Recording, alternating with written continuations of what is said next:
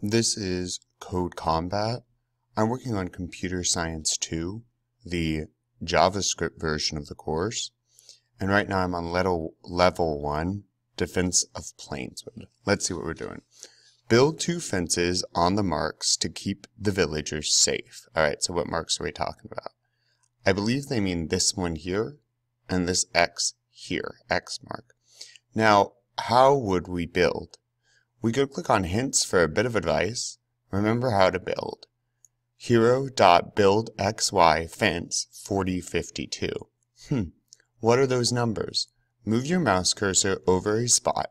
Find the X and Y numbers of the location.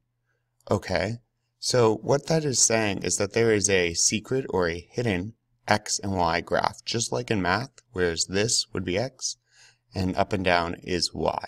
So if I go way down here, 0, 0 is somewhere way down there. What do we need? Well, we need this spot. It looks like an enemy's coming this way first. So let's see what this x is. 40, and then y is 52. So first we would need to move up to get to the x, I think. And then we want to, let's see, build, build xy. It already has fence, which is great. x always comes first, and again, x was 40 and then y was 52. So 40 and then 5, 2. Let's go ahead and test that out. Moving up, getting to that x, do we build? Excellent. So now we need to go down 1 and then 2, I believe.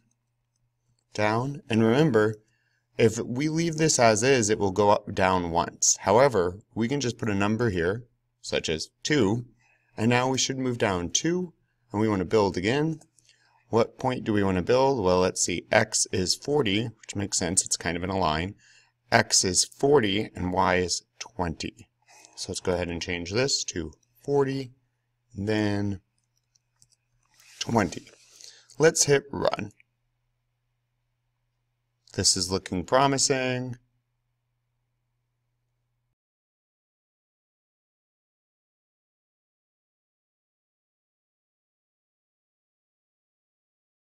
Excellent. We've got it. Let's keep going.